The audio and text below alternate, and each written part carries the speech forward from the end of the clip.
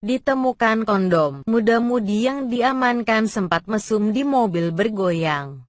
Dua muda-mudi diamankan dalam mobil bergoyang yang terparkir di depan rumah Wakil Bupati Tuban.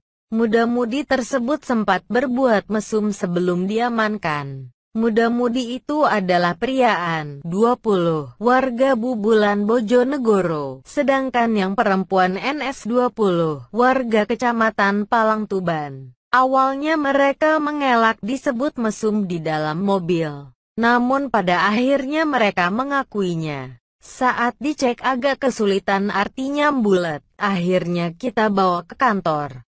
Dari bukti di lapangan ditemukan beberapa alat kontrasepsi yaitu kondom yang sudah terpakai maupun yang belum.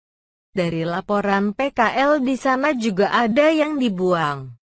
Kita bawa ke kantor untuk diminta keterangan. Dari pengakuan muda-mudi ini juga benar mesum. Ujar kasih operasi Satpol PP Tuban Joko Herlambang kepada wartawan. Kamis tanggal 16 Juli tahun 2020.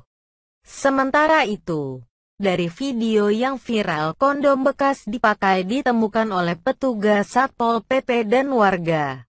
Kondom itu dalam posisi jatuh terbuang di jalan raya yang posisinya berada di belakang mobil yang bergoyang. Mungkin saking takutnya, jatuh kondomnya karena pelaku cowok pakai celana pendek kolor.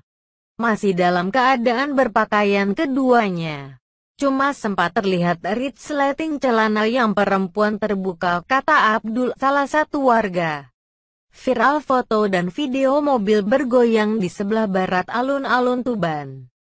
Mobil tersebut terparkir di depan rumah dinas Wakil Bupati Tuban. Peristiwa itu diketahui pada Rabu 16 per 70 malam sekitar pukul 21 waktu Indonesia Barat. Mobil itu sendiri sudah parkir di lokasi sejak pukul 17 waktu Indonesia Barat.